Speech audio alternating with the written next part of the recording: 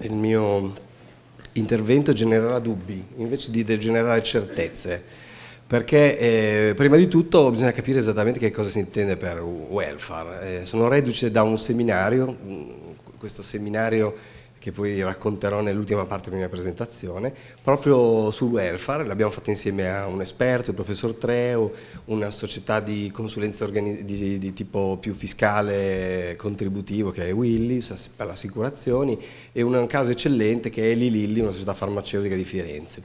E ovviamente abbiamo raccontato un modello, alla fine che cos'è il modello di welfare? Se guardiamo nella storia i romani costruivano le, le, terme e anche direi che è una manifestazione molto forte di welfare sociale.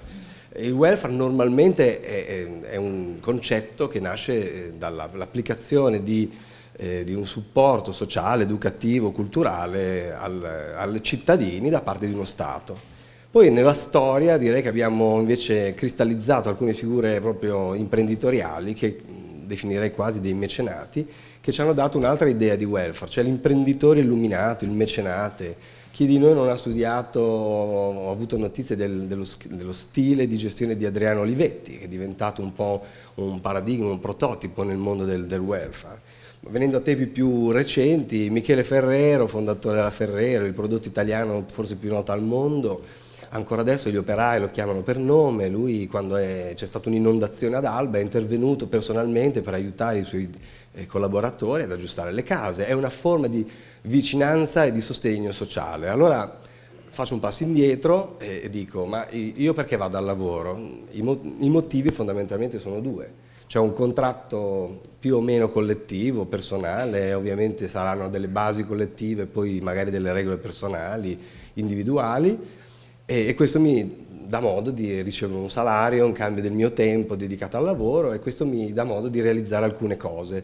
Poi c'è un, un, contratto psicologico che tutti noi credo in un modo o nell'altro viviamo, eh, ci sono eh, mattine in cui hai voglia di andare a lavorare, mattine in cui magari vorresti stare a letto perché dici non ce la faccio più, il mio capo, i miei, i miei colleghi, l'ambiente, tutto il resto. Per cui è molto difficile identificare con una sola parola, a meno che non si vada proprio nello stereotipo, cos'è il sistema, lo strumento welfare. Perché io lavoro dal 1986, ho vissuto vari momenti storici della nostra nazione e anche vari momenti eh, organizzativi di aziende in cui ho lavorato.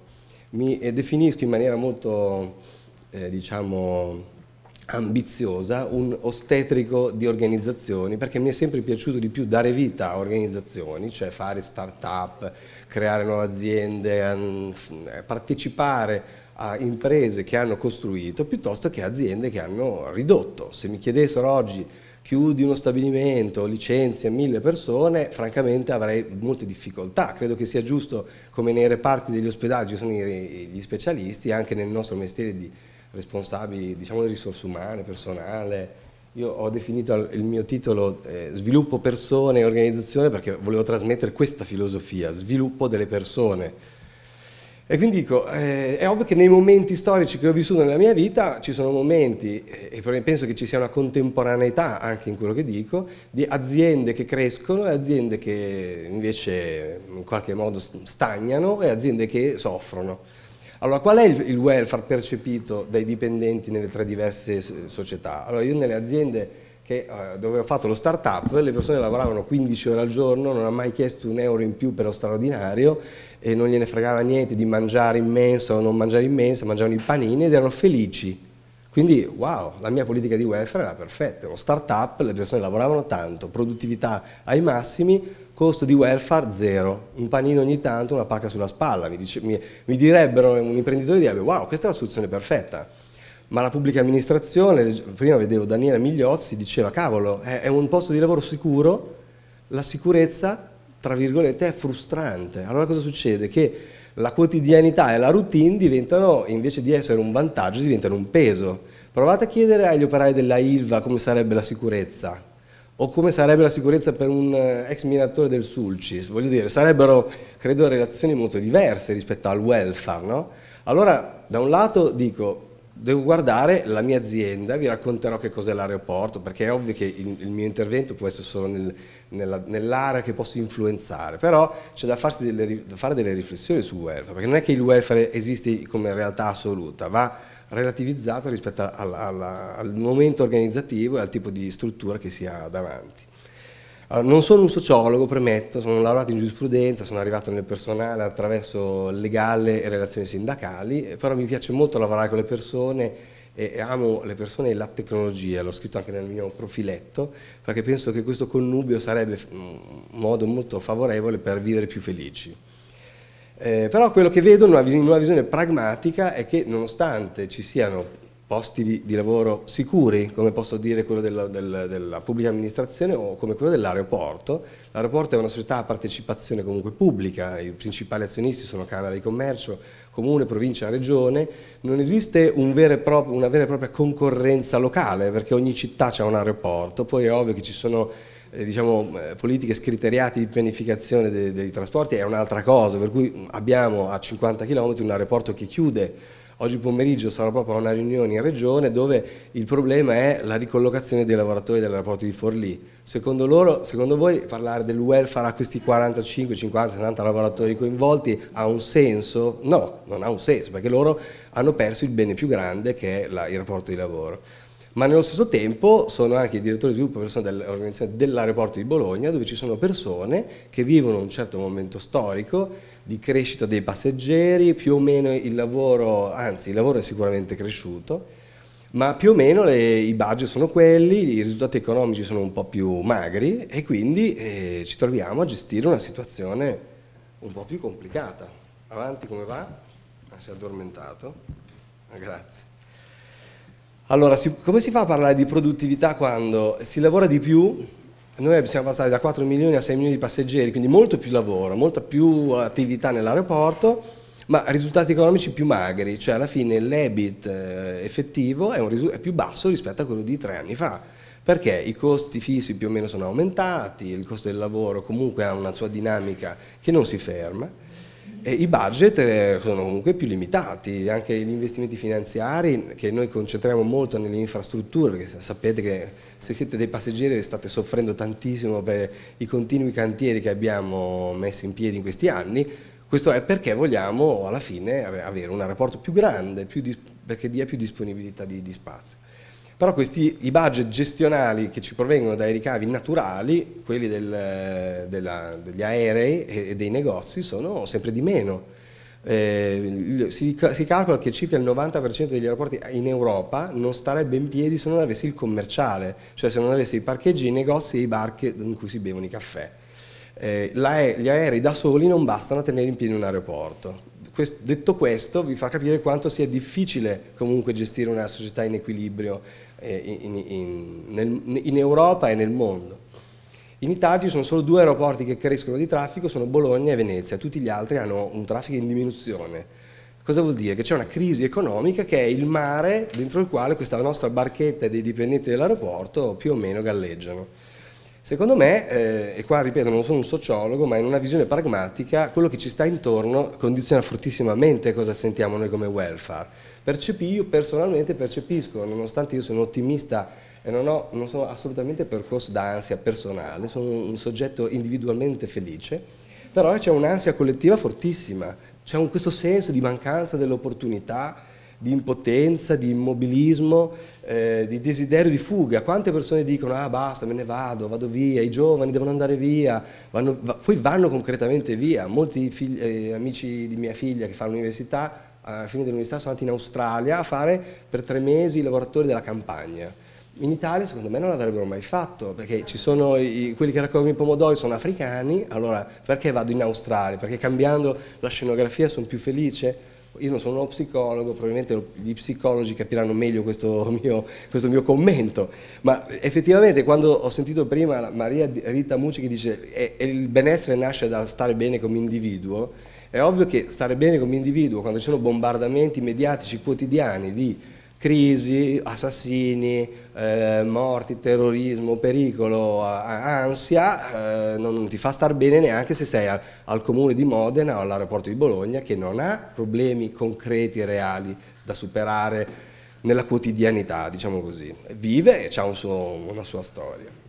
Sono anche un volontario di, dell'Associazione Italiana delle Leucemie. Ho avuto la, non, saprei, non so mai definirla se è sfortuna, perché da un lato lo è, ma anche l'opportunità di essere un malato, nel senso che è chiaro che nessuno vuole pagare il biglietto di essere malato in leucemia, nessuno lo vuole fare, però il fatto di essere stato per 3-4 anni nei reparti di eh, ematologia, di aver vissuto le problematiche dei trapianti, aver mm, vissuto con la, una signora seduta vicino che ti diceva guarda che sei in pericolo, mi dà una, una visione diversa della, della, della, vita. infatti quando vado alle riunioni, io sono anche volontario dell'AIL, quando vado alle riunioni dell'AIL eh, incontro persone straordinariamente felici pieni di ottimismo, che vogliono fare le cose, che non si lamentano se fa freddo a Natale quando vendono le, le, le stelle di Natale e non si lamentano se fa caldo quando c'è la Pasqua e devono vendere le uova di Pasqua. Mentre in ufficio torno e all'aeroporto trovo persone che dicono eh ma qua piove, fa freddo, mi devi dare un posto dove stare, eh ma qui... Eh. Sapete che l'aeroporto sta aperto 24 ore su 24, i turni sono un, un, una delle caratteristiche eh, di maggior eh, logorio della, proprio del corpo. Allora, mettere tempi più lunghi per la pensione, se è una logica finanziaria, da un punto di vista della motivazione, dell'engagement di persone di 50-55 anni che da 30 anni fanno i turni, è una grande fonte di frustrazione e di stanchezza. Allora, come si fa a parlare di produttività quando invece di puntare su giovani forti e pieni di desiderio di fare le cose, si deve puntare su una popolazione che a turnover zero praticamente invecchia tutti gli anni, senza possibilità di inserire persone nuove, diventa più vecchia e deve fare lo stesso lavoro di prima facendo i turni di notte. Ah, qua bisogna avere la bacchetta magica. Allora io queste domande dal macro me le faccio al micro, dico cosa posso fare? Aggiungiamoci che una, questo, una situazione di questo genere, con meno soldi, budget limitati e quindi anche un po' meno di disponibilità di dare premi, premi di produzione, premi di risultato, premi di tutti i generi, diventa eh, una fonte di conflittualità. E non mi riferisco alla conflittualità puramente sociale, diciamo con le relazioni sindacali, sindacati eccetera, è una, è una conflittualità che definirei microconflittualità. Sono sicuro che anche nelle vostre aziende succede lo stesso. Se uno la mattina alle 6 della domenica telefona e dice non mi, sento, non mi sono sentito tanto bene, questo qui può essere davvero uno che sta male o, una, un, un, indice di microconflittualità. Io, se fuori piove, la domenica mattina devo venire a lavorare, devo, perché ho un turno, sto a casa, mi paga lo stesso l'Inps o l'azienda e non faccio lo sforzo in più, non vado a lavorare per il mio collega, non mi interessa di creare un problema. Allora, in una situazione di questo genere, la conflittualità micro, secondo me, è ancora più pericolosa della conflittualità macro, che ha una, un volto, ha delle logiche, ha del, degli terreni di negoziazione la, e si vede, soprattutto, è rappresentata. La conflittualità micro non si vede e quindi aumenta leggermente l'indice di assenteismo, aumenta l'utilizzo delle 104, che è un diritto meraviglioso, ma che probabilmente a volte è utilizzata anche in modo così un po' strumentale, eh, aumenta, aumentano la oppure è più difficile chiedere alle persone di fare straordinario, aumentano le richieste micro, che sono veramente quelle che, che dici ma, ma, ma, qual è il problema? Ah no, perché non voglio lavorare qua, bla bla. I, I, turni giornalieri diventano, i turni notturni sono quelli più difficili da assegnare e quindi anche volendo essere equi ci sono persone che scappano ai turni e cambiano i turni, cercano di fare di tutto per non fare i turni Aggiungiamoci che intorno il contesto eh, non, non aiuta tantissimo. C'è una riduzione obiettiva del potere d'acquisto e non è che ce lo dobbiamo raccontare, quando guardiamo le nostre buste paga ci rendiamo conto che l'euro ci ha premiato da una parte, ci ha salvato per tanti versi, ma ci ha anche fatto un po' male. Eh, ogni tanto io sono, sono, vecchio forse in questo, ma faccio i conti di quanto mi costano le cose in lire e mi viene male, mi viene veramente male. E, e poi c'è una necessità anche veramente obiettive di conciliare meglio la vita privata e il lavoro. Una volta le care mamme, adesso non è che voglio fare una, un, non sono un nostalgico, eh, si occupavano dei bambini, oggi le mamme lavoratrici, il 30 di giugno le scuole finiscono e si trovano con i bambini che non sanno dove gestirli, o una ai nonni super attivi, ma non è che si può costruire una società sulla base di un volontariato familiare, e, oppure deve, è costretta a affidare i propri bambini a babysitter che hanno un costo e ovviamente non sono mai in regola, per cui è anche un modo in, ingiusto di, di, pagare le persone, di, di, aprire un mercato nero, oppure le famose settimane estive nei campi solari, queste cose qua, che comunque non coprono il periodo dell'estate completamente. Allora le aziende si trovano giustamente, eh, le mamme, che nel periodo estivo prendono i congedi parentali fino a quando i bambini hanno 8-9 anni e si creano delle problematiche organizzative noi abbiamo una regola, quando una persona viene controllata nei varchi di sicurezza, se è una donna deve essere tastato da una donna, se è un uomo deve essere tastato da un uomo. Quindi noi abbiamo il 50% di personale maschile, femminile. D'estate c'è la, la, fuga naturale, giustificatissima, legittima delle signore che devono tenere i bambini. Una società organizzata in questo modo non facilita la produttività del paese, assolutamente, diventa un ostacolo. I servizi sociali sono decisamente più cari. Se uno vuole affidarsi a una badante in regola, eh, spende il 40% in più. Allora cosa succede? Che le badanti sono tutte in nero e anche lì si crea tutta una serie di situazioni che non sono fisiologiche per un paese che vuole crescere o avere una maggior produttività. Aggiungiamo un dato molto positivo per me che ho superato i 50 anni, che l'invecchiamento della popolazione è costante e quindi i tempi di assistenza dei propri genitori diventano sempre più lunghi. Grazie al cielo si vive fino a 80 anni e questo vivere fino a 80 anni significa che i figli restituiscono per lunghi anni la cura che a loro volta hanno ricevuto quando erano bambini. Allora cosa succede? Che bisogna veramente mettersi in questo grosso puzzle e cercare di mettere a posto i pezzettini. Non è facilissimo, ma qualcosa si può fare. Esistono delle opportunità anche queste sono veramente fatte male, eh. devo dire la verità che le ho analizzate nel dettaglio con i miei consulenti, ho guardato anche i sistemi di, insomma, in vigore, alcune eh, opportunità diciamo economico-fiscali, quindi non so, posso pagarti la babysitter piuttosto che posso pagare i campi solari o i libri, eccetera, sono regolamentati in un modo per cui devono essere eh, iniziative unilaterali, cioè se sono liberalità aziendali sono esenti da tasse e contributi, se invece sono contenute in un accordo sono parte della retribuzione. È veramente una, un, un, archetipo proprio sbagliato di, di, legislazione, ma questa è e quindi dobbiamo stare a questi, a questi fatti. Le opportunità sono amplissime perché effettivamente tenendo conto anche di come è fatta una popolazione, non, non c'è una soluzione che può essere individuata solo per le famiglie. Uno entra che ha 19-20 anni e ha voglia di divertirsi, poi magari o si sposa o ha figli e quindi il suo problema diventa pagare le spese magari del babysitter, poi cresce e i figli vanno all'università e quindi vorrebbe sostenere le, le, le scuole superiori, eccetera, però c'è anche i genitori che, che, diventano più vecchi, quindi ha bisogno di un supporto per la terza età. Però ci sono persone che decidono di non avere una famiglia o, per, o, non hanno una famiglia e allora dicono, beh cosa facciamo? L'assistenza welfare solo alle famiglie e a chi ha bambini? Allora bisogna pensare a tutta quella parte di entertainment, di cultura, di accesso alla cultura, accesso ai viaggi che la normativa fiscale mh, eh, consente. Quindi le soluzioni possono essere un ventaglio veramente molto, molto ampio. E quello che è interessante è che esiste, comincia finalmente ad esistere una, una, un modello culturale che eh, in qualche modo è più orientato ad avere una, una inclinazione eh, per un equilibrio fra la vita privata e il lavoro, quindi verso anche l'utilizzo del proprio tempo libero, ne abbiamo molto di più perché viviamo di più e i tempi di lavoro sono in qualche modo anche ridotti. E quindi abbiamo un, un, un modello che ci aiuta a far eh, a facilmente entrare nell'abitudine dei nostri collaboratori l'idea che invece di dare 50 euro di aumento ti posso dare l'accesso a una, una, spa piuttosto che due giorni di weekend a Parigi o rimborsarti il costo delle, dei libri scolastici dei tuoi figli.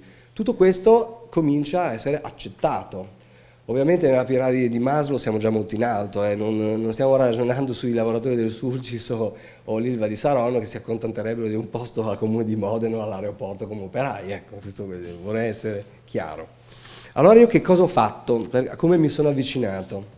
Innanzitutto abbiamo fatto un inventario, perché eh, sembra strano, ma eh, raccogliendo poi l'inventario delle cose che già abbiamo, esiste tra virgolette una politica di welfare eh, effettiva che eh, eh, va oltre quella che uno poi alla fine dichiara. In aeroporto c'è un orario flessibile per gli amministrativi che possono entrare da una certa ora a una certa altra, quindi questa è una forma di, in qualche modo, di aiuto alla conciliazione dei tempi di vita lavorativa con quelli familiari. Esiste, chiunque può chiedere part time e viene normalmente diciamo, concesso. Esiste una polizza sanitaria integrativa che eh, uno lo dà per scontato, ma improvvisamente si trova che quando va dal dentista spende meno, va a fare dei check-up eh, per le donne di un certo tipo, per gli uomini di un altro tipo e quindi un, una, accede a servizi eh, sanitari gratuitamente o quasi. Esiste la previdenza integrativa che è stabilita tra l'altro dal contratto collettivo e sorprendentemente, essendo comunque eh, attivata su base volontaria, soltanto il 50% della popolazione del nostro aeroporto l'attiva. È un mistero di cui non riesco a, francamente a capire perché l'azienda è, è, tenuta a dare un proprio contributo aggiuntivo rispetto a quello che darebbe, che dà il, darebbe il, dipendente, ma il 50% delle persone ancora si illudono che l'Inps gli darà una buona pensione e non pensano a fare un risparmio preventivo. Forse è perché effettivamente il peso del, della spesa, del carrello della spesa famoso, la famosa bandiera di Luxotti, che è il carrello della spesa, e sta diventando sempre più cruciale. Allora cosa abbiamo fatto? Abbiamo testato nuove iniziative, per esempio. Abbiamo fatto un questionario, abbiamo visto che l'estate, eh, quei famosi tre mesi di abbandono scolastico da parte delle istituzioni scolastiche dei, dei, dei propri figli, era uno dei problemi più importanti. Su 360 dipendenti ci sono quasi 200 bambini sotto i 12 anni e quindi abbiamo introdotto un rimborso parziale delle spese sostenute per i campi estivi, una cosa molto piccola che ha avuto un'eclatante un risposta di, di, positività. Abbiamo fatto un benchmark con alcune aziende eccellenti e abbiamo eh, soprattutto dato informazione di quello che esiste in azienda, abbiamo dato formazione, il seminario a cui mi riferivo all'inizio della mia, della mia presentazione ha visto coinvolti eh, quindi sia il, il, professor Treu per il sistema più grande del welfare, la, la Willis per la parte contributiva economica e l'Eli Lili come esempio concreto e abbiamo chiesto per esempio a Prevair, che è la società che gestisce il fondo di, per la, la, la, pensione integrativa, di fare un incontro con i nostri dipendenti di sensibilizzazione per fargli capire i vantaggi. Tutto questo eh, per dire che sicuramente è il momento giusto per pensarci, eh, ci sono meno risorse e qualche opportunità fiscale ancora da utilizzare. Ogni realtà ha le sue regole, come abbiamo detto all'inizio, come ci ha insegnato eh, Minzburg, devo dire che bisogna essere molto legati alla propria esperienza, eh, ma sicuramente credo che nessuna funzione, risorse umane, personale, sviluppo persone, eh, se non ha altro da fare, che, che sono, magari sono problemi gravi, eh, dire che non c'è meglio che eh, tentare di far eh, vivere con eh, maggior positività il contratto psicologico che eh, motiva le persone ad andare in ufficio tutti i giorni. Grazie.